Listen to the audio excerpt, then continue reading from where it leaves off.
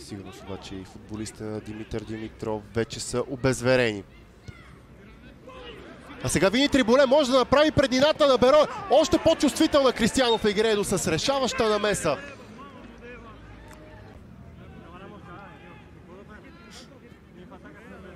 Вижте отново тази проука, тази проука, която Тонисов Йорданов пък много добре експлуатира при центрирането на Спас Георгиев за третия гол. Сега пък в нея успя да се шмугне, за който има над 50 мача в своята кариера. Триболе.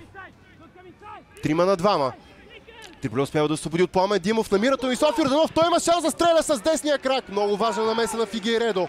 Разберем и чисто психологически как се отразила тази пропусната възможност от Дуспа. Вярвам, ще се съгласите нещата по съвсем различен начин. Можеха да изглеждат Симеон Меча. Фигередо изпуска топката, но в крайна сметка успява да парира. Ни деляха от един наистина специален момент.